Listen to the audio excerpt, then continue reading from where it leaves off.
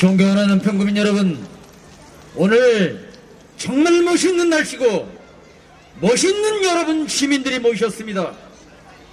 가장 서울에서도 은혜롭고 평화로운 이곳 은평. 저는 은평을 문태성 위원장입니다.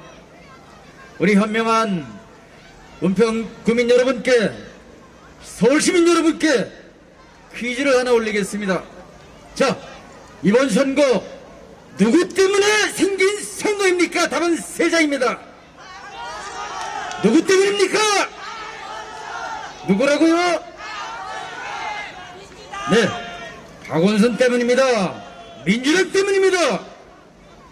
민주당은 후보를 내지 말아야죠. 창피합니다. 서울시민. 세계 어느 나라, 어느 나라에 있어도 시장이 권력형 성범죄로 사퇴를 한단 말입니까?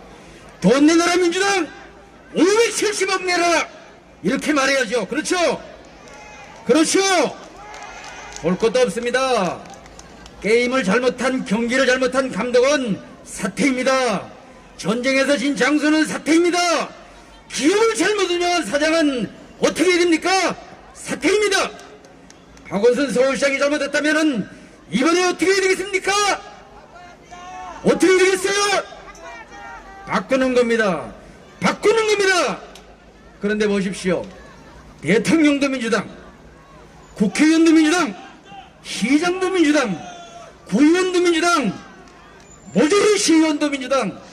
그렇다면은 서울시장까지 또 민주당이 된다면 지금 대한민국은 대한민국이 아니라 민주당 공화국이 또 되는 것입니다.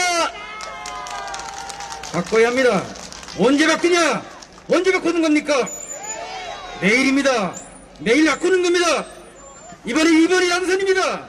이번에 2번과 함께 승리합시다. 2번 오세훈입니다. 함께 오세훈, 오세훈, 오세훈, 오세훈.